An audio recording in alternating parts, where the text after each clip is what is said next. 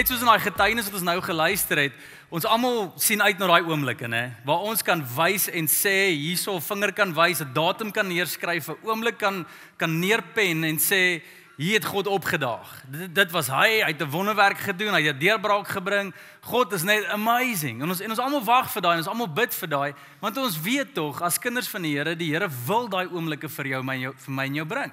Ons lees dit in die Bybel, ons sien dit regoor. God wil elkeen van sy kinders seën en beloon en al hierdie tipe woorde lees ons in die Bybel. En my en jou gedagte binne die reeks is baie eenvoudig is dat ons almal moet heeltyd verwagtend rondloop rondom wanneer God gaan opdaag en hy goed gaan doen in ons lewens. Maar om eerlik te wees, ons weet nie regtig wanneer hy opdaag hoe dit gaan lyk nie, né? God daag altyd op 'n ander manier op. God doen altyd iets wat ons nie aan gedink het nie. God God is God en hy besluit hoe die goedheid, wat sy goedheid gaan kom in 'n oomblik. Maar wat ek en jy wel moet weet, is dat as ons meer van God wil beleef en veral meer die oomblikke wanneer hy opdaag, moet ons besef dat wanneer hy opdaag, gee hy 'n opdrag. Dit is die gedagte in hierdie reeks. Elke liewe keer as God opdaag in jou lewe, is dit nie net om vir jou hoendervleis te gee nou, ooh, ja man, nou is dit lekker. En dis wat bly nê. God stuur jou. God roep jou. God bemagtig jou. Hy hy hy hy roer jou. Hy kry jou in die beweeg want hy weet as jy meer van hom wil hê, moet jy saam met hom begin werk. En dis waar die oomblikke vandaan kom. Wanneer jy saam met God begin werk, dis waar God opdaag en amazing goeders doen. Sonder gehoorsaamheid, hoor mooi, sonder gehoorsaamheid gaan jy nie daai oomblikke beleef wanneer God opdaag nie. Jy kan jouself blou bid. jy jy kan soveel verse lees as wat jy wil. Jy kan soveel beraders gaan sien. Jy kan hoeveel predikante kry om in te tree vir jou. Jy kan doen net wat jy wil. As jy nie God self begin hoorsaam, gehoorsaam nie, gaan daar niks gebeur nie. Jy gaan tydjie op 'n punt selfs kom waar jy voel maar lewe die Here nog. Luister die Here nog, beweeg die Here nog, wil die Here nog. Die predikant sê die Here is altyd lief vir my en sy genade is onophoudelik, maar ek beleef dit nie. Waar is dit? Miskien is omdat daar gehoorsaamheid nie in jou lewe is nie. En en ons kyk net deur die Bybel, wat is van hierdie opdragte wat ek en jy moet gehoorsaam en saamwerk saam met die Here sodat ons kan seker maak dat wanneer hy wil opdaag het hy kan doen in daai oomblik net wat hy wil met ons deur ons. En vandag sien kyk ons na die volgende opdrag wat sê maar wanneer God opdaag, dan gaan hy ons begin roep na groter. En hierdie vandag is 'n groot boodskap, né? Nee, Hulle gegrap altyd so die mense daar lank deel is en sê maar hy kry sy goeie punte en sê altyd hierdie is groot. Wel hierdie is 'n groot preek, okay, want die naam is groot, okay? So vandag is groter. Dis die boodskap van vandag en dit kom uit Johannes 14 vers 12 waar Jesus praat. En hoor wat sê hy hierson? Ek verseker julle, wie aanhou glo in my, sal die werke doen wat ek doen. Hy sal selfs nog groter dinge as dit doen omdat ek na die Vader toe op pad is. So hier praat Jesus ook oor die Heilige Gees en hy sê vir sy disippels: "Julle goeie nuus. As jy aanhou glo in my, as jy kan vashou, laasweek se preek, jy kan vashou in my en maak nie saak deur waar jy gaan nie, maklike tyd, moeilike tyd, jy kan vashou in my, glo in my, maak nie saak wat nie, dan gaan jy groter dinge doen. So groot, dit gaan groter dinge wees as wat ek gedoen het. Ek Ek het nou die eerste keer toe ek hierdie vers gelees het as 'n Christen, nee, ek het net tot die bekering gekom. Hierdie een van die versies daag op. Ek Ek raak so opgewonde. Wow. Jesus sê ons kan groter dinge as U doen. Ek stel belang. Ek bedoel as Jesus geloop het en dooies laat opstaan het, hm, ek gaan 'n bietjie begrafplaas toe gaan. Check hierdie move. Moet dit doen nie, julle, dis embarrassing. Dit is I tried it. It doesn't work. Maar ek daag op op die weirdste plekke. Ag, hier's 'n persoon. Hulle sê eintlik die mense het sonder maniere. Ek dog is 'n demoon. Nou begin ek ek gaan nou hierdie demoon uitdryf. Want Jesus het dit gedoen. Ons gaan dit doen en nog meer. Begin begin. Julle, dit werk nie. Ek, ek ek ek is mal. Die mense kyk maar, "Maar wat doen jy?" Maar wat ek doen is ek is ek is honger vir die opdrag van groter. Want Jesus het tog gesê, "Jy gaan groter dinge doen as wat ek gedoen het." Ek onthou Jesus het gepreek en daar het daar 3000 mense of 5000 mense voor hom gesit. Daar was al baie mense voor hom gesit. Ek dink, "O Here, ek gaan preek vir U." Maar dag 10 mense op. En hulle dink dis is 'n goeie preek. Hulle kom eers terug nie. Jy weet, dis so Here, maar hoe hoe werk hier? En toe begin ek stadig maar seker die gedagte wat by my opkom.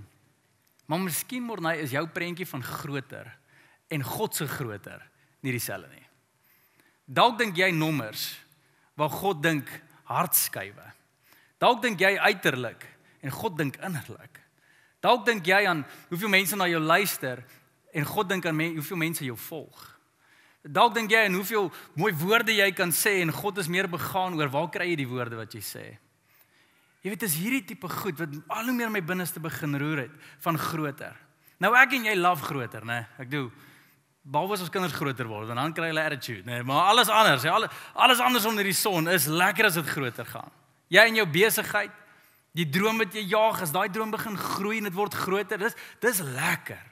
Ek dink as jy begin groter word en onafhanklik raak as 'n jong mens en jy kan begin self besluite neem en self paai in rigtings kies in lewe, dis lekker. Soos ons groter word en ons platforms groter word en ons stemme groter word en, en ons invloed groter word, dis dis amazing. Maar iets wat ek en jy moet besef is dat God roep elkeen van sy kinders om groot dinge te doen vir hom. In ander woorde, dit wat jy laas jaar gedoen het vir die Here, moet groei. Die impak wat jy gehad het laas jaar moet groter wees hierdie jaar. Jy moet groter dink in die koninkryk van God. Jy moet begin vlerke sprei. Jy moet kan begin vlieg as 'n kind van die Here. Jy kan nie vir ewig dieselfde gebede bid nie. Jou geloof kan nie vir ewig op dieselfde vlak bly nie. Nou nou my vraag is ek, okay, maar Here, maar hoe kry ons daai groter? Hoe kry ons 'n groter geloof? Hoe kry ons 'n groter gehoorsaamheid dat ons die groter dade kan doen en die werke kan doen? Hoe kry ons daai? Oh, dit is so eenvoudig. Dit is so eenvoudig. Hier is die antwoord. Gee net 'n groter ja vir die Here. Gee net 'n groter ja. Sê meer ja vir dinge wat ernstig is vir die Here. Wat die Here op sy hart het. Ek praat nou die dag met met iemand en hulle dis 'n dame in ons in ons gemeente. Sy het deur 'n rowwe tyd gegaan. En en sy was verlang, kon sy nie eintlik beweeg het nie en stadig maar seker is bland sy toe in 'n rolstoel en en sy kry haarself so jammer want sy was hierdie doenige vrou, besige vrou, altyd projekte aangepak, altyd altyd dinge gedoen en en nou is sy so stil en sy kan nie beweeg nie, afhanklik van mense en en en sy verkrimp, sy sy sy doen nie goed nie, haar gemoed is plat. En ek kyk so na haar terwyl sy hierdie vir my vertel en ek sê maar Hoe jy nou vir my lyk is glad nie so nie. Jy weet sy's nou weer daai vrou wat lag en dinge doen en aan die gang is en ek sê maar hoe het jy van daai af gegaan van rolstoel na hierdie? En sy sê die woorde vir my Morney, ek het dit begin ja sê. Ek het ja begin sê vir wakker word en en eintlik wakker word. Julle ken daai snooze button? Nee, ek julle ken hom nie. Ek ken hom. Alraai. Julle lig in die kerk man. Daai snooze button. Sy sê delete die snooze button Wanneer daai wekker afgaan, staan op, sê ja vir jou dag. En sy begin net daai gesindheid van ja oor haarself kry. Ja, ek gaan opstaan vandag en ja, ek gaan ek gaan glo die Here is goed vir my. En ja, ek gaan glo die Here is vir my en ja, ek gaan glo vandag is 'n nuwe dag wat die Here gemaak het en daarom gaan ek bly wees daaroor, nie ag nog 'n dag, ja, nog 'n vergadering, ag oh, weer skool toe, ag oh, weer daai vrot boyfriend vir my. Ag oh, weer jy weet, die wat lag, jy moet worry hoor. Dis 'n regte bad boyfriend. Maar begin net ja sê. Begin ja sê vir die Here. Begin ja sê deur jou Bybel op te tel en begin lees. Begin ja sê deur jou oë oop te maak en die eerste ding wat jy sê is dankie Here. Begin net klein, begin net met jou ja. En dan moet daai ja begin groei. Hy moet begin groei vir daai klein stem wat jy begin hoor. Ek onthou as 'n jong gelowige was hierdie baie onbekende waters waarop ek begin loop het. Ek het nie groot geword in kerk nie, julle. Ek ek ken nie Christelike taal nie. Ek ek het nie eens 'n Bybel gehad op die oomblikie op daai stadium en en en ek begin toe hierdie stemme hoor van Morney, vat jou snoepie geld nog op skool man. Vat jou snoepie geld en gaan gee daar vir 'n vir 'n kind. Ek sê vir jou wys wat se ene. Klein, stupid. Morney, waar dink jy? Vat jou snoepie geld en koop dit vir jou chommies man. Dis wat tieners doen. Hoekom OK, maar jy stem pla my. OK, vat my snoepie geld, gaan staan daar by die snoepie en ek staan net by die snoepie en nou wag ek. Is dit hierdie kind? Is dit daai kind?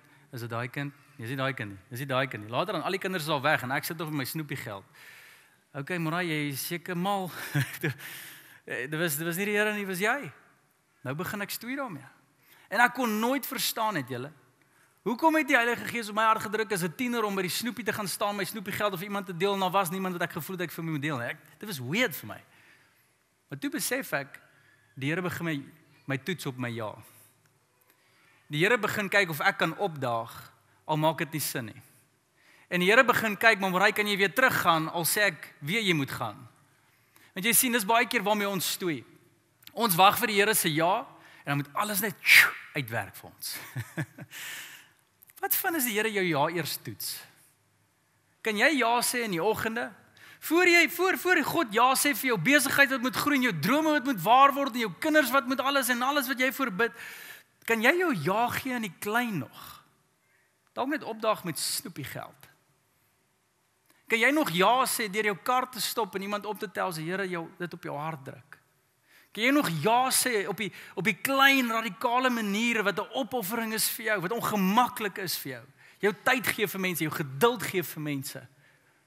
Kan jy nog jou ja gee vir die Here? Ek luister nou eendag na iemand wat praat 'n TED Talk tipe ding en hulle hulle praat oor hoe om suksesvol te wees. En een van die goeters toevallig is net dag op. Dag net op. Sê net ja. En hoewel ek baie hieroor kan praat, is dit vir my beduidend en onmisbaar dat ons leef in 'n tyd julle waar ons ja tot die Here nie meer so radikaal is nie. Kom ons wees eerlik met mekaar. Ja Here, ek sal ek sal kerk toe gaan as dit nie koud is en ek praat met julle vanoggend. Julle sien hè. Dit sê ons aanlyn. Maar maar ons sê ons ja vir die Here met voorwaardes. Ja Here, ek sal hierdie doen, maar maar maar, maar wat van hierdie nee nee nee nee wat van nee, dit moet gemaklik wees. Ja Here, ek sal dit doen, maar dit moet sin maak. En hierdie goed begin 'n probleem raak in ons tyd. Want sodra daar begin 'n stem soos ek vorentoe kom en sê maar hy jy moenie die Here halfhartig dien nie, jy moet die Here heelhartig dien. Dit beteken wat ook al die Here vir ja sê, dis waarvoor jy ja sê. Ja man, dit klink reg, dit voel reg. Ja, ja vir die Here, ons is lief vir die Here. OK. So trek jou skoene uit en gee dit vir die ou langs die pad wat die skoene het nie. Nee, nee, nee, nee. Wow, hey. Ek het hierdie laasweek gekry. hulle loop nog lekker. Ons gee net skoene weg as hulle begin die sole begin afval. Dan skenk ons dit vir die kerk. Nie nuwe skoene. Hey. Waar is ons radikale ja's? Waar is ons ja's as as God jou goed vra wat wat vat by jou? Wat lei tot 'n verlies by jou? Want jy sien ons hou daarvan om vir God ja te sê as dit tot ons aanwins is. Tot ons voordeel is. Maar wat ons God vra, gee jou ja sodat iemand anders die wins daarvan kan voel. Wat as God se groter prentjie, hoor mooi, nie gaan oor my en jou nie. Die grootste lewe wat God oor droom is, hy sê jy sal groot dinge doen, is 'n selflose lewe julle. Is 'n lewe wat so gaan oor die Here en die mense wat hy liefhet. Dat jy maak nie saak waar jy gaan nie, maak nie saak wat jy doen nie. Jy leef met jou ja verander en as as wie ek is en wat ek het en wat ek kan doen en wat ek kan bied, enige iemand kan baat sê ek ja. Mons toe met daai. maar maar maar wat van wat van my huisgesin? Maar maar wat van my lewe? Wat van ons moet besop vir daai woorde. Want jy sien iets wat ek baie introspeksie doen oor die laaste tyd in my lewe en dit raak so hande met hierdie. Ek vra myself op die laaste tyd, wie's die mense in my lewe wat my inspireer? En, en ek ek en my vrou het baie hierdie gesprek gehad. Wie's die mense wat ek na kyk? Vriende of mentors of jong mense, ouer mense, mense wat ek goed ken en nie goed ken nie. Wie's die mense wat ek na kyk en net sê, "Wow. Dit is dis inspirerend." En die mense wat ek sonder uitsondering kan uitwys. Die een ding wat hulle almal in gemeen het, is hierdie waaroor ek nou praat is die feit dat hulle ja kan sê al kos dit hulle. Die mense wat kan ja sê en is so selfloos. Dit baat hulle niks, maar tog doen hulle dit. Tog gee hulle dit. En dit wat ek vanoggend na ons bring as hierdie boodskap, julle is nie is nie iets wat ek en jy 'n opsie oor het nie. Jesus was so radikaal oor hierdie ja. Dat hy gesê het as jy my wil volg, gaan dit jou kos. Weet dit. As jy ja wil sê vir my, sê die Here, dan gaan jy moet nee sê vir jouself en hier is waar die groter probleem is. Nie net moet ons 'n groter ja gee vir God nie, maar ons moet 'n groter nee gee vir die Here of vir ander goeders. Dit die ja en die nee gaan saam julle. en dit is baie eenvoudig om te verstaan. Het julle al mense ontmoet wat jonk getroud is?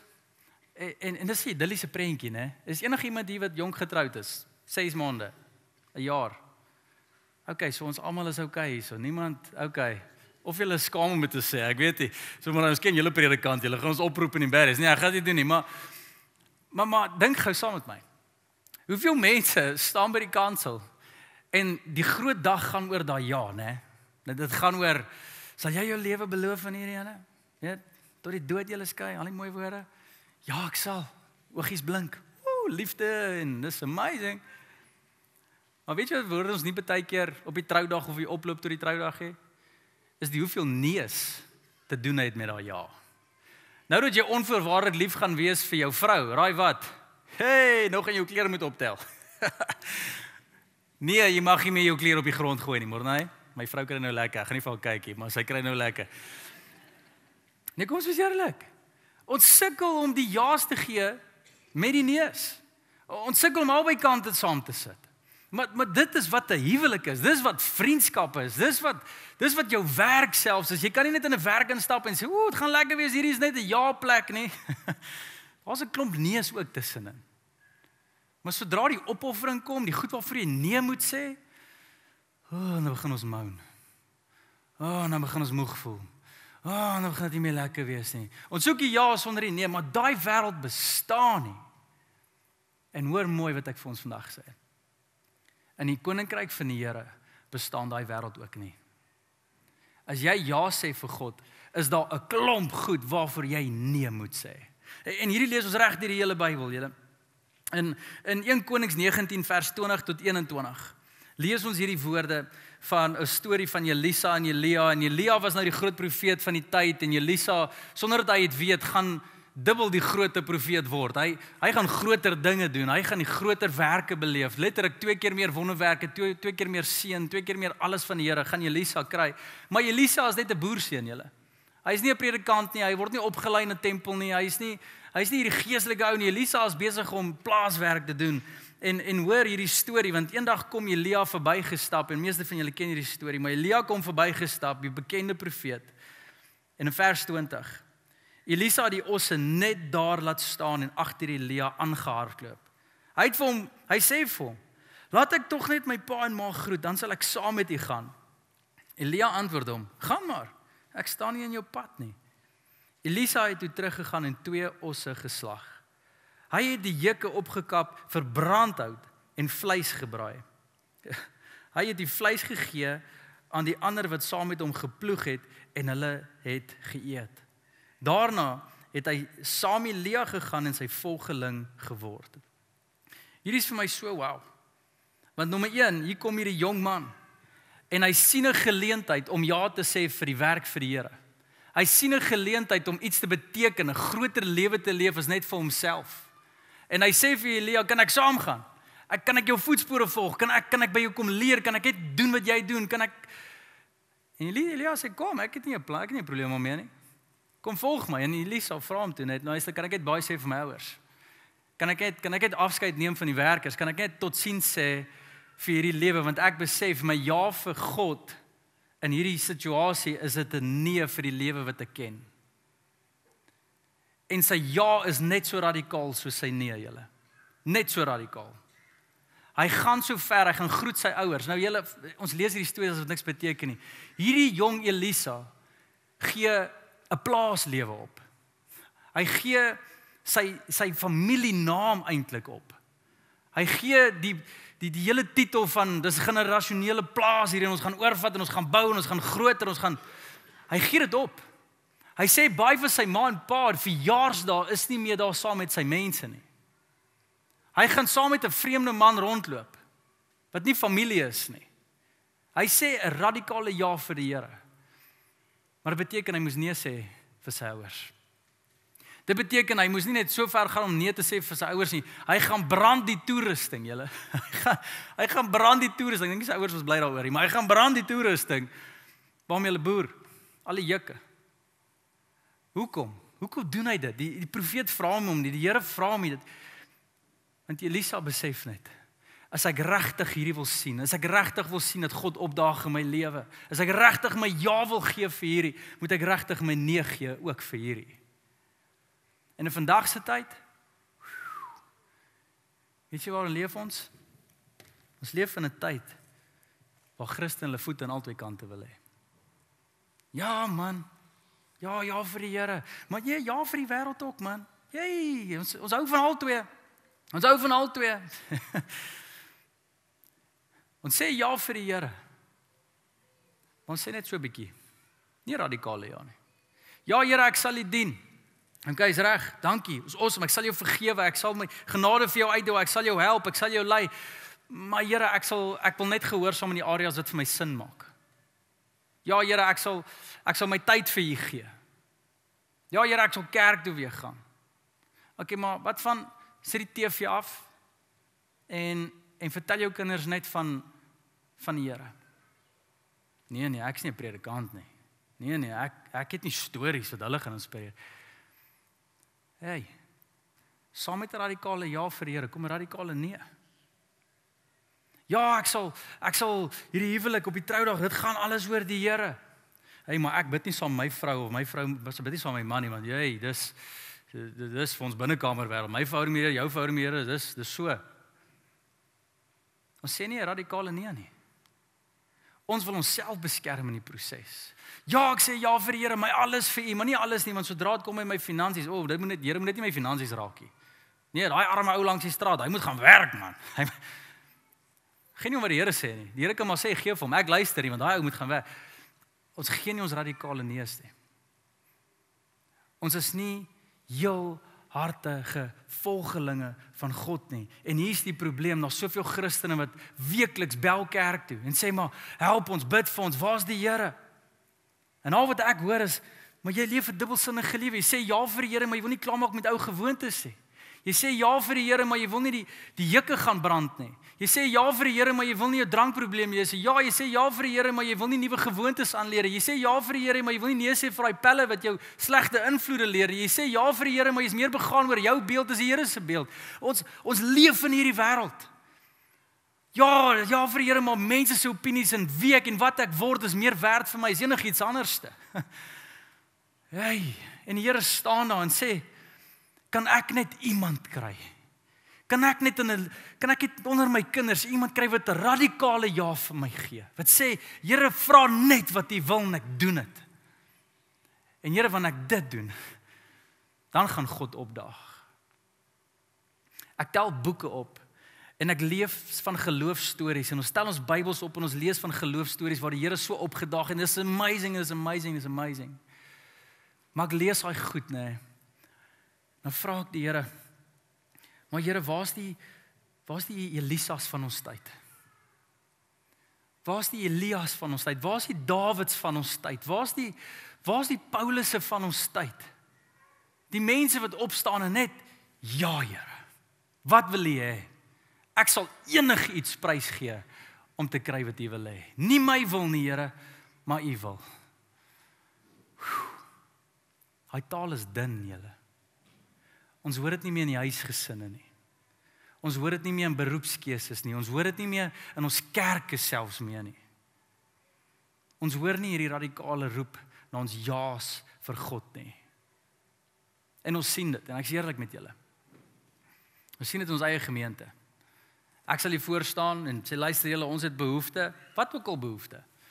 Of dit nou Ons het 'n projek by Dasha of ons het projekte by ons kerk, ons het vrywilligers by die kinderkerk nodig, hier verwelkomingsspanne nodig. Ons het al hierdie ons het ons het mense nodig wat 'n ja kom gee. Hier's 'n geleentheid vir jou om ja te sê vir die Here. Mm, ja, ek's bietjie besig deesdae. OK, ek verstaan jy's besig. Ek verstaan die kinders, ek verstaan die naweek, maar sê jy vir my jy kan een naweek, een naweek in 'n maand 'n bietjie vroeër op te staan en 'n ja gee vir God nie. Ons leef nie met daai radikale ja's nie. Ons het verwaarlike ja's vir die Here gegee. Here moet alles gee, maar ons gee net bietjie. Geen wonder ons sien hom nie beweeg nie. Geen wonder ons sien hom nie so tasbaar in ons midde nie. Ja nee, ek sal dit doen vir die Here. Sal jy? Sal jy nog enigiets prysgee vir hom? Jesus het hieroor gepraat, julle. Hoor wat sê hy in Matteus 10 vers 34 en 39. Moenie dink dat ek gekom het om vrede op aarde te bring nie. Hoor die woorde van Jesus julle. Moenie dink ek het gekom om vrede op aarde te bring nie. Ek bedoel dis nie die Kersfees storie hierdie nie. Ek bedoel vrede op aarde, al daai liedjies, lekker Kersfees klokkies, dis dis glad nie wat hy hier sê nie. Ek het nie vrede gebring nie, maar 'n stryd. Ek het gekom om skeiding te bring tussen man en sy pa en dogter en haar ma, tussen 'n skoondogter en haar skoonma, selfs 'n mens se eie familie sal jou vyande wees. As jy jou pa of ma liewer het as vir my, verdien jy nie om een van my mense te wees nie. As jy jou seun of dogter liewer het as vir my, verdien jy nie om een van my mense te wees nie. As jy weier om jou kruis op jou skouers te neem en my te volg, verdien jy nie om een van my mense te wees nie. As jy selfsugtig in jou eie lewe vasklou, sal jy dit verloor. Maar as jy ter wille van my opoffer, sal jy werklik voluit lewe. Hierso kom Jesus en hy gee vir ons die kultuur van die hemel. Die kultuur van sy koninkryk. Die kultuur van onder elke Christen. Hy sê daar gaan 'n stryd wees. 'n Stryd tussen jou wil en God se wil. Tussen jou radikale ja en 'n radikale nee. En God sê as jy hom wil sien beweeg, hy wil hy wil dit doen vir jou. Maar as jy okay met die stryd? Is jy okay om daai skeiding te sien? En waarvan praat Jesus hier? As hy sê hy, hy kom om skeiding te bring tussen man en pa en en vrou en dogter, is dit net julle moet mekaar haat? Dit is glad nie dit nie. Hy's 'n God van vers, versoening. Hy hy hy's mal oor verhoudings. Maar hy weet Jong mense en ek is nou hier saam met julle. En ouers, luister maar. Iewers te gaan jou kind begin die Heilige Gees se prikkeling voel as hulle hulle ja gee vir die Here. En dalk lyk die ja wat God binne in hulle prikkel, nie die ja wat jy vir hulle wil hê nie. Dalk lyk dit bietjie anders. Dalk lyk dit nie so finansiëel veilig soos wat jy dink nie. Dalk lyk dit so meer soos 'n opoffering. Dalk lyk dit soos 'n pad wat onbekend is vir jou. En jy as ouer het nie die reg om jou wil af te dwing bo God se wil nie. En hierdie is iets wat my ook skrikkerig maak, julle. As ek praat met met jong mense, met tieners en ek vra vir hulle, luister hier, so wat doen julle na skool? Wat is jou drome? Waartoe gaan jy? Meeste van hulle sê, "Hey, jy, ons gaan of die ene gaan oor see en daai ene gaan daai ene gaan gaan swaat en daai ene gaan 'n gap jaar vat en daai ene gaan dit en en al daai en dan vra ek hulle hierdie vraag. So, hoe het jy besluit om dit te doen?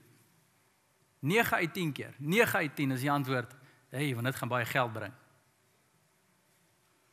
En daar's niks fout met geld te gaan verdien nie. Julle julle ken my hart. Niks fout daarmee. God het nie 'n issue met geld nie. Hy het hy het 'n issue met liefde vir geld. Maar of jy min of baie het, maak nie saak nie. Jy kan brandarm wees en lief wees vir geld. So as ek fout met geld gaan maak nie. Maar hier is die probleem. Nêrens hoor ek die kultuur van wat Jesus hier sê nie. Ek het gekies om hierdie te doen want ek voel dis wat die Here my vra om te doen. Ek voel dit is die ja wat God wil hê ek moet gee nie. Dit is wat ek voel, dis hoe die Here my gaan gebruik. Dis hoe ek voel ek sy koninkryk kan baat nie. Ons praat nie daai taal meer met ons kinders nie. Ons dryf nie meer daai kultuur van die koninkryk nie. Al wat ons hoor is geld en geld en sukses en bo kom en ding bedryf en jou eie besigheid en dit en drome en betoer die wêreld en dis alles wat ons hoor. En ek sit daar en ek vra net myself af, maar Here, is U oukei okay met hierdie antwoorde? Is oukei okay met hierdie antwoorde? Waar is God in hierdie? Want die pad na ware sukses is die pad na God se wil. Om te doen wat God wil hê. Want dalk bereik jou kind daai droom wat jy vir hulle het en hulle word suksesvol, hulle kry geld. Maar hulle werk hulle self so in 'n mik in Hulle het nie eens meer identiteit nie. Hulle val uit mekaar uit. Hulle het nie vrede nie. Hulle weet nie eens meer om te lag nie. Hulle so oorwerk, hulle is nors met hulle mans, hulle huwelike lê daaronder. Maar hulle het geld. Is dit God se prentjie? Is is dit die definisie van God se wil vir ons lewens? En Jesus kom en hy sê, as jy selfsugtig in jou eie lewe vasklou, sal jy dit verloor. Jy sal nie lewe vind nie. Jy gaan leeg voel. Dan kom my woorde. Maar as jy 'n groter lewe wil leef, julle. As jy 'n lewe wil leef wat saak maak vir die Here, gee jou lewe. Hy sê as jy jou lewe opoffer vir ander, sal jy lewe vind. Dien ander mense. Help ander mense. Wat jy het, gee vir ander mense. Doen dit tot eer van die Here. Bedien wees lief. Jou lewe moet 'n opoffering wees vir ander. Julle ons hou nie van daai woorde nie. Jous doen nie. As dit kom by ons eie huwelike, ons vriendskappe. As dit kom by ons eie mense in ons lewens. "Ag, oh, daai ou het my ingedoen en daai ou ja, hy hanteer my nie reg nie en wat 'n vriend is dit en daai Dan wonder ek by myself, maar het die Here nie vir ons gesê ons moet ons moet ons vyande vergewe en ons moet ons vyande lief hê nie? Hy het nie gesê as jy so voel nie. Hy het nie gesê wanneer jy reg is daarvoor nie. Hy het gesê as jy my volgelinge is, dan moet jy dit doen. En hier's waar die groot kruks inkom by volgelingskap van Jesus. En hier's 'n taal wat nie meer baie gepraat word selfs in kerk nie, julle. Wanneer jy God volg, verloor jy jou regte. Hoor mooi. Wanneer jy God volg, verloor jy jou regte. Jy verloor jou reg oor die droom wat jy het oor jou lewe. Jy verloor jou reg oor wie jy kies om lief te hê en wie jy kies om nie lief te hê nie. Jy verloor jou reg alles wat jy doen hoe jy jou finansies bestuur, hoe jy jou kinders grootmaak, hoe jy dink oor hierdie lewe, hoe jy dink oor jouself, hoe jy dink oor ander, hoe jy ander hanteer, of hulle goed of sleg vir jou is of hulle wit of swart is, dit maak nie saak nie. Jy verloor jou regte want in God se koninkryk is daar net een God, is daar net een Heer. Want hy beheer. Sy wet tel. Wat hy sê is reg en wat hy sê is verkeerd, dis verkeerd. En hoeveel van ons skryp agter die woorde weg maar ag maar ek is ook net mens. Ja, ek verstaan. Ons almal maak foute en ons almal het sonde. Ek ek kry dit. Maar beklei jy nog teen jou sonde? Haat jy dit nog? Besef jy dit staan aan die pad van jou radikale ja? Ons sukkel met hierdie goed. Want ons word nie meer so groot. Dis hierdie taal wat ons praat nie. Hoor wat sê Jakobus en hier is groot woorde. Jakobus 5 vers 12. My broers en susters, die belangrikste is dat julle moet nie moet sweer nie. Nie by die hemel nie en nie by aarde nie. Nie met enigiets anders nie. Sê net ja of nee en bedoel dit. Dan sal julle nie veroordeel word nie. Jakobus is Jesus se jonger boetie wat net eintlik uitbrei op Jesus se woorde wat hy hierdie woorde gesê het. As jy ja sê, sê net ja, as jy nee sê, sê net nee. Wees getrou in jou woord. En hierdie is so groot woorde wat Jakobus sê. As jy ja sê vir iets, sê ja. As jy nee sê vir iets, sê nee. Staan by dit. Nou kom vandag en ek vra jou so myself eerlik die vraag net soveel ek eerlik die vraag so eerlik vra vir elkeen van ons. Is jou ja vir Here vir die Here nog 'n ja? Is jou ja nog, Here? Vra my net wat U wil hê. Ek sê ja. Sê jy nog ja nog voordat jy eens weet wat hy van waaroor hy gaan praat? Is jou ja nog jou ja? Is jou nee nog wat jy gesê het vir die Here nog jou nee? Jy goed wat jy gesê het, Here, ek maak klaar. Here, is nie goed vir my nie. Here is nie in die wil nie. Here, pas nie in die prentjie nie. Ek sê nee hiervoor. Staan jy nog by jou ja en jou nee? Want as jy nie doen nie, is daar oordeel sê Jakobus. Ons 'n oordeel wat wag. En jy gaan dit voel.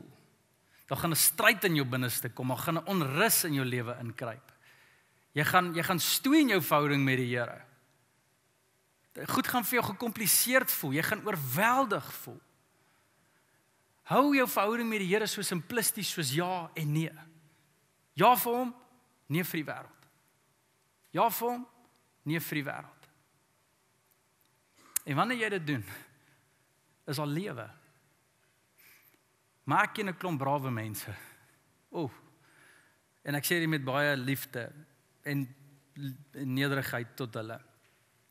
Ek ken baie mense wat al ja gesê het vir die Here vir iets en nie braai woord gehou het nie. Ja Here, ek sal u dien so en so en so. Ja Here, ek sal gee, so en so en so. Ja Here, ek sal volg, so en so en so. Ja Here, ek sal my kinders so so en so. Ja Here, ek sal ja so so en so. Jy het jou ja gegee. En iewerste in hierdie lewe het jou hart bedrieglik geword en neus het begin inkruip. Ja Morney, ek sal dit vir jou doen. Ja Morney, ons sal dit vir die kerk doen. Ja Morney, ons sal dit. Ek het dit al klomp kere gehoor. En daar gaan mense nie op en ek sê vir hulle met baie liefde maar jy is die braafste mens wat ek ken. Want jy moet besef jy het ja vir God gesê en jy gaan nou met nee. Ek ken nie 'n brawer persoon as dit nie. Ek doen nie. Ek ek wil nie daar wees nie. ek's nog bereid om 'n nee te gee vir 'n persoon en ek kan nog daai verhouding dalk nog regmaak en dis al klaar suur genoeg en bitter genoeg en sleg genoeg. Maar as dit kom by die God van die heelal en ek gee my ja vir hom, moenie jou nee tafel toe bring dan nie. Want daar is oordeel. Daar is skeiding. God kyk nie daarna en sê ag, jy was net 'n fout nie. Hy sê as jy ja sê vir my, sê net ja vir my. Bedoel dit. As jy 'n Christen wil wees, sê jy's 'n Christen. Moenie sê jy's 'n Christen net omdat jy wil bid en voordele kry van die Here af nie. As jy 'n Christen wil wees en agter God se wil aan is vir jou lewe, sê ja daarvoor, maar dit gaan kom met 'n klomp neus. Ek het 'n klomp neus in my lewe gegee en ek weet nou nog hoeveel kere wat God my nooi na volgende jaar toe, 'n groter jaar toe, 'n groter jaar toe, seisoen na seisoen, of dit nou my huwelik is of dit oor hierdie kerk is of dit oor my kinders is, elke liewe volgende seisoen vra vir 'n groter ja, maar ook 'n groter nee. Ouers, hoor mooi. As jy God se liefde en se wil in jou kinders wil sien groei en jou huisgesin wil sien groei, Jou ja gaan daar moet wees en dit beteken jy gaan dalk nee moet sê vir jouself en jou eie gevoelens. Beteken ja, jy gaan hard werk by die huis en by die huis kom en moeg voel, maar jy kan nie nou ja sê vir jou moegheid nie.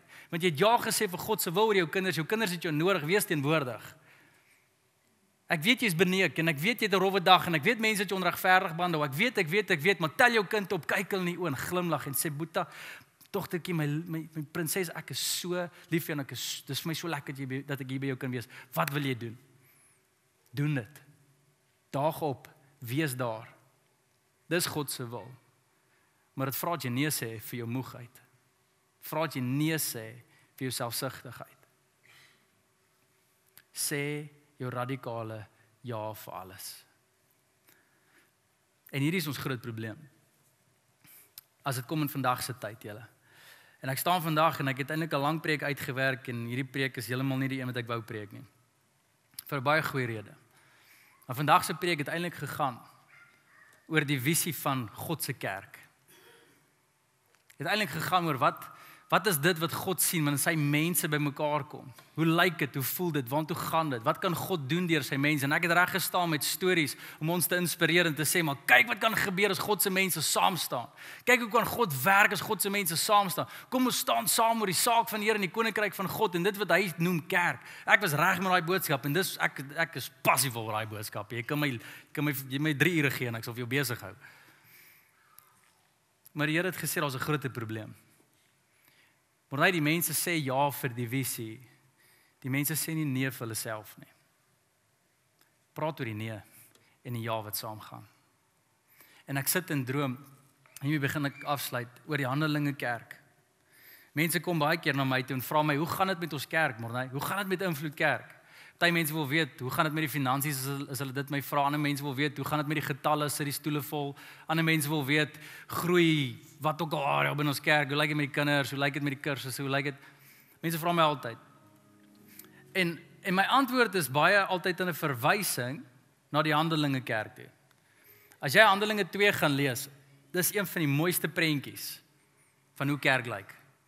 Handelinge 2 is die eerste keer in die Nuwe Testament waar die Heilige Gees afgekom het en die kerk was gevorm soos ek en jy dit ook kan ken in vandag se tyd. En dit was amazing wat daar gebeur het, julle.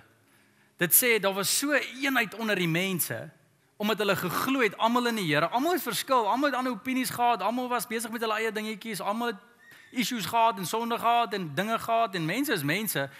Maar te midde daarvan was daar hierdie absolute eenheid. Dat mense bymekaar gekom het, geluister het na die lering van die apostels.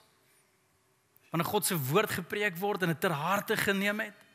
Hulle het saam aanbid Hulle het hulle het saam nagmaal gehou, by huise gekom gekuier. Hulle het saam gebid. Hulle het saam lewe gedoen. Hulle het omgegee vir mekaar. Hulle het mekaar se laste gedra tot in die ekstreem toe. As al mense was wat wat wat deur 'n rowwe tyd gegaan het en dalk nie hulle huis kon bekostig het, daai mense ingetrek by ander mense en vir mekaar voorsien en mekaar gehelp. As daar nie kos op die tafel was ewe skielik was daar kos op die tafel. As daar uitstaande rekeninge was, het hulle gehelp betaal. Hulle het hulle het letterlik mekaar gedra in daai tyd. Dit was familie wat gebind is as gevolg van Jesus. Ons lees hoe ouens hulle gronde en huise en ekstra goed gaan verkoop het sodat almal in die kerk ewe kon gehad het. Dit het nie gegaan oor hulle self nie. Dit was so selfloos. Dit is onselfsugtig. Niemand het vrae gevra nie. Gesê kom ons almal kies net dieselfde leefstyl, kom ons help almal mekaar. Dis idillies. Dis wow, what 'n amazing kerk. en ek vergelyk altyd ons kerk met daai kerkie. Hoe gaan met ons kerk? Nog nie daar nie. Ons groei, great. Ons is nog nie daar nie. Want daar's te veel mense wat vasklou in hulle eie lewens. As te veel mense as ek op 'n kant sou klim en ek begin hulle vra en sê luister, daar gaan mense deur 'n moeilike tyd in ons kerk en ons kan ons geld insamel vir die mense om my rekening van R60000 plat te maak. Mm. Dadelik is daar 50% van die mense klaar gekant teen die idee net omdat ek finansies van die kansel afgenoem het. Ons is nog geen een nie. As ek sê julle hier's 'n projek waarmee ons besig kan raak. Julle ons kinderkerk kort daarop. Daar's letterlik daar's 5 mense wat bedank het omtrent dat die kinderkerk die laaste tyd. Ons sukkel met mense net om die kinders te help bedien. Kom ons gaan bedien die kinders. Kom ons gaan vertel hulle van die Here. Mm, nee, ek's besig. O oh, nee, ek kan nie. Nee. Ons is nog nie daar nie. Ons is nog nie daar waar mense getrou die Here volg in hierdie huis. Hierdie huis waar God werk. Een is in hierdie huis nie. En soos ek na Handelinge kyk, stoei ek hierdie week weer en sê Here, maar hoe kom ons daar?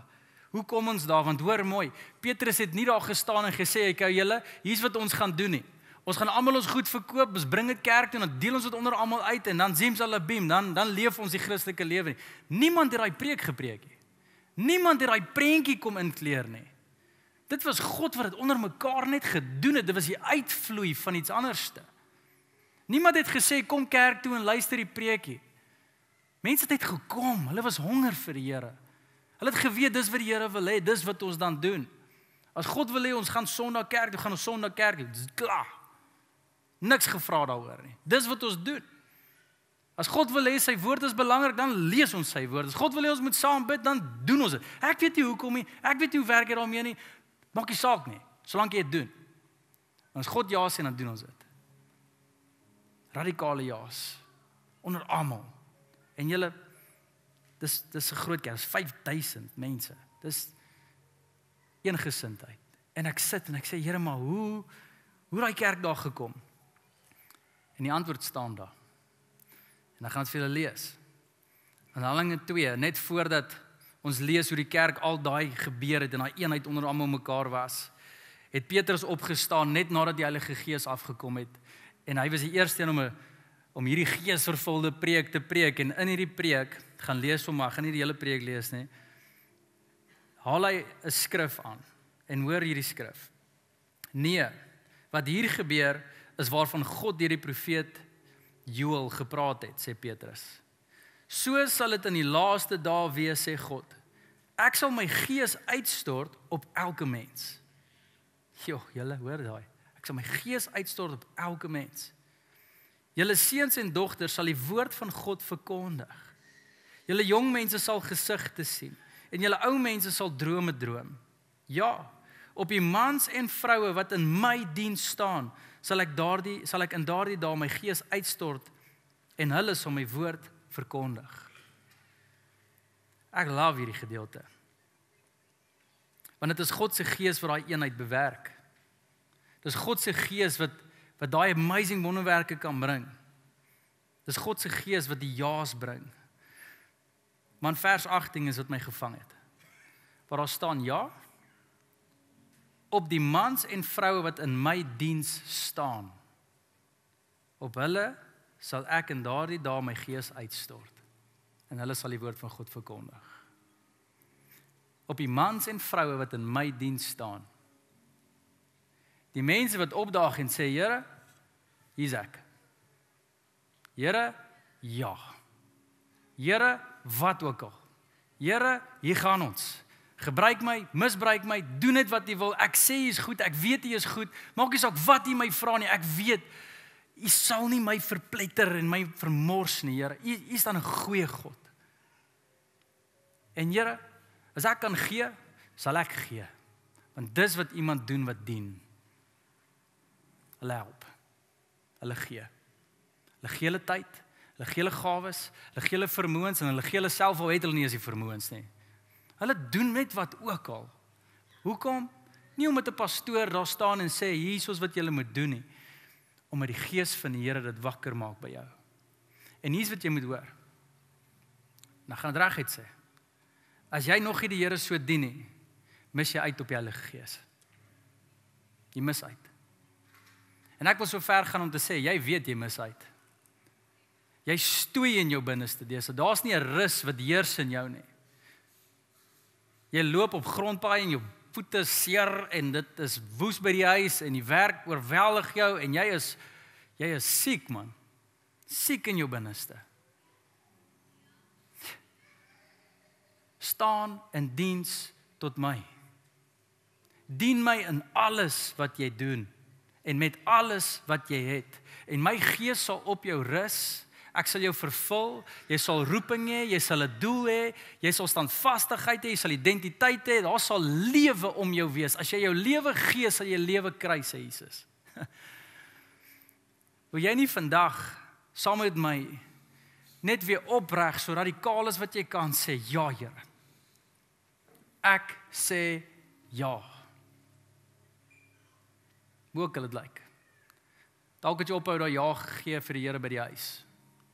Jou werk, jou finansies. Jou kinders, jou toekoms, ons land. Ek weet nie waar jy ophou ja gesê het nie. Jesus sê as jy jou lewe so vasklou, as jy lewe vir jouself, is jy nie waardig om een van my mense te wees nie. Ek wil nie ek wil nie een van daai ouens wees wat eendag by God opdaag. En ek sê Here, kyk wat se kerk ons gebou het. Kyk hoeveel mense het ons aangeraak. Kyk hoeveel mense het ons gehelp en Here kyk vir my en sê Morney, jy noem my Here, Here. Dan gaan vir my al weg. Jy ken my nie. Jy wou nie gedoen het wat ek gesê het nie. Jy het jou eie koninkryk gebou, nie myne nie. Jy het my naam gebruik om dit te doen. Maar ek was nie jou God nie. Jy was jou eie God. Jy was in beheer. Jy het gekies wat jy voel, jy het gekies of jou gevoelens jou beheer, jy het gekies wie's uit, wie's in, jy het gekies wat se sent gaan waar. Jy het alles besluit in jou lewe. En net wanneer dit nou en dan jy gedink het ek kan jou baat dan bid jy. Jy het nie my wil vir jou lewe gesoek nie. Om eerlik te wees, dis my grootste vrees. Om eendag voor die God van heelal te kom en te sien maar ek het nie geleef vir hom nie. En wil jy nie daar waar jy is? Maar hy sal 'n radikale ja. So sê Elisa, kom en sê Here, as dit vra dat ek goed moet brand vandag. Dalk is dit vriendskappe. Dalk is dit seker verhoudings, dalk is dit seker gewoontes. Dalk is dit my trots.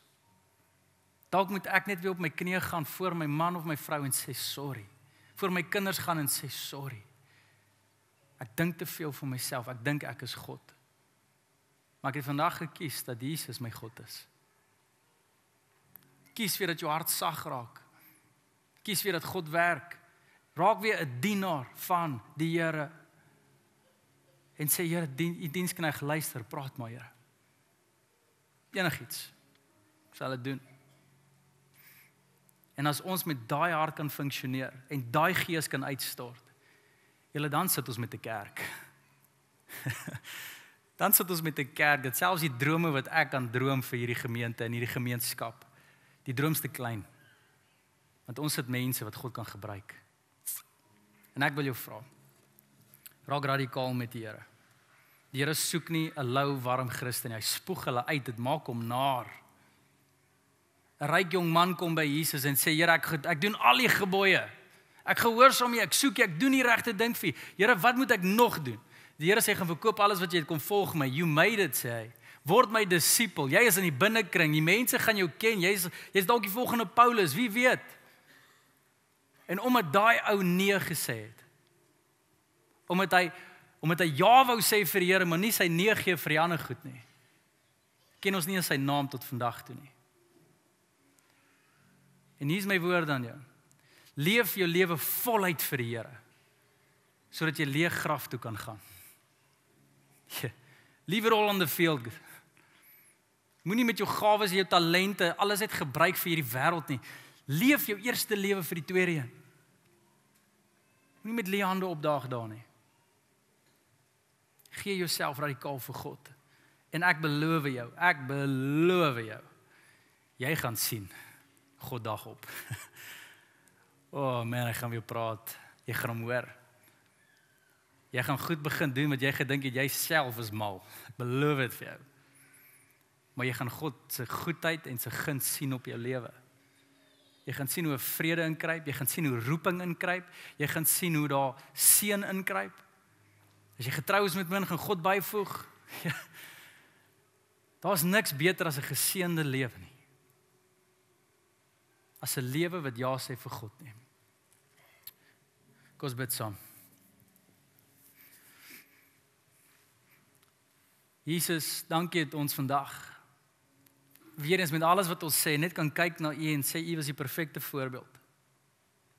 U het gekom as die God van die heelal, die een met die titel, die een wat die woorde kan hê, een wat die krag het, die een wat net kan rondloop as 'n koning en sê, "Wow, kyk na my, ek het dit alles." Maar U het gekom nie om gedien te word nie, maar om te dien. U het gekom en 'n radikale ja gegee, so radikaal dat U God uit kant toe gesit het.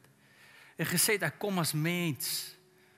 Ek wil my mense kom help. Ek wil hulle wys hoe hierdie werk. Ek wil hulle wys hoe om mense lief te hê. Ek wil hulle wys om God se wil te sien.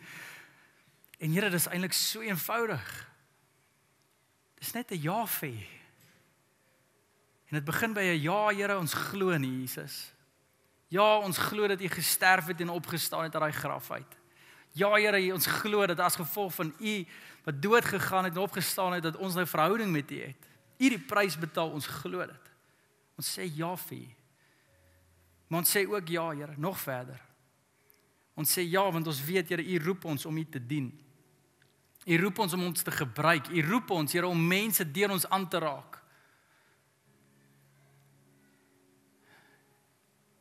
En ek bid Here, kom maak ons weer vol van die Heilige Gees. Dis mense wat al so lank 'n Christen is. Maar nie die vervulling van die Heilige Gees eens ken nie. Wat koud geword het. Wat sit met soveel kopkennis, maar in hulle harte is daar nie hierdie radikale ja en 'n verbintenis tot God nie.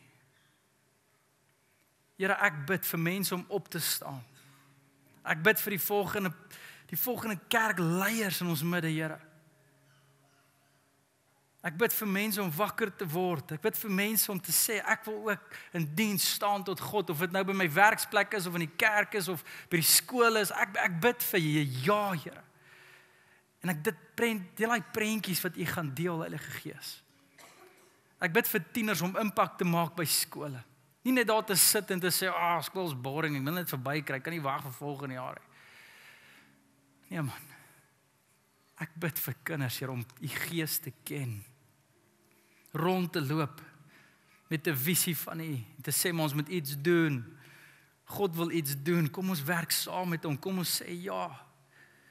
Kom ons praat met die mense wat woord nodig het. Kom ons bemoedig daai wat plat en neergedruk is. Kom ons staan in diens tot ons God. Want hy verdien alles van my. En Jesus, ek bid vir 'n diensbare kultuur in ons huise. Ek bid dat ons kinders U sal ken, van U sal hoor. Dat godsdienst nie iets is wat net ons hoor by die kerk nie, Here. Maar dat dit geken word in ons huise. Ek bid dat ouers reg onderskeiding sal hê as dit kom by hulle kinders se toekoms. Nie onderskeiding van wat is die beste opsie om ryk te word nie, maar wat is die beste opsie in die koninkryk van God? Waarvoor roep God my kind? Waarvoor wat is die ja wat U vir hulle gee? Ek bid dat die ouers dit sal kan hoor, Here.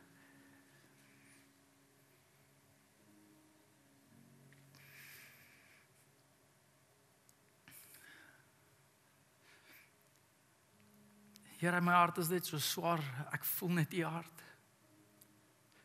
Die oes is so groot, maar die arbeiders is min. Die dinge om te bereik vir die koninkryk van God is so groot, dit is so wyd. Almal kan iets doen, maar die mense wat opdaag om te werk vir God is min. Die arbeiders is min. Here mag ons kerk nie geken word as 'n kerk wat groei nie. Mag ons kerk nie geken word as 'n kerk waar ons mooi woord kan ontvang nie. Mag ons kerk geken word van mense wat mekaar kom wat ernstig is oor om God te dien. Wat sê hier is ons Here gebruik ons. Here, dankie daarvoor. Heilige Gees, ek weet ons kan prentjies inkleer by 'n kerk. Ek weet ons kan soveel dinge van mense afvra en sê kom tafel toe, kom tafel toe. Ons het U nodig. Ons het jou nodig. Kom. Here, ons bid vir die arbeiders, ons bid vir die mense om in die worship spanne te kom. Ons bid vir die mense by die kinderkerk, ons bid vir die mense in allerlei bedienings by ons kerk, Here. En ek weet hulle is hier, maar maar dalk is die uitdaging nie die visie nie, dalk is die uitdaging die diensbaarheid in ons harte. Want ons het nog nie daai radikale ja gegee vir God nie. Ek bid vir daai skuif. Mag ons nie lou wees in die oë nie. Of ons sê ja of ons sê nee. Maar nie die halfhartige diene dienaars nie, Here. En Jesus, ek sluit weer af met net die rede, Here. Die rede hoekom ons hierdie preek, die rede hoekom ons hierdie hoor van die skrif af is sodat u die eer kan ontvang. Dit gaan nie oor ons nie. Gaan nie oor ons nie. Ek bid dat ons daai woorde mag fluister in ons binneste, Here. Dit gaan nie oor my nie. Dit gaan nie oor my nie. Dit gaan oor die God van die heelal en wat hy wil hê. So dankie, Here. Minder van onsself, meer van U. Ons stel belang. Ons sê ja. En Heilige Gees, ons sê ja vir u leiding. Vra net wat u wil. Ons gee ons radikale ja, ons groter ja en ons gee ons groter nee. So dankie daarvoor. Ons bid dit Here in Jesus se naam. Ons almal sê saam. Amen. En amen.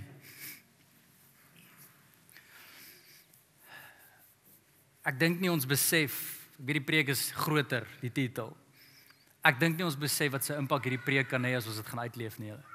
Ek ek dink nie ons besef nie. Ek het vir julle gesê ek kan jy lank besig hou, laaste ding. Die laaste 2 weke bel ek rond wat ook al kerkleiers ek ken in ons land. Mense wat groot is wat in 'n groot kerknetwerke sit, julle met dit dis dis dis honderde kerke wat ons ken. En die nuus daar buite is nie all good nie. En ek praat nie van groei nie. Ek praat nie van ek praat van die volgende generasie. Ek praat van die ouens wat moet opstaan en die volgende predikers word.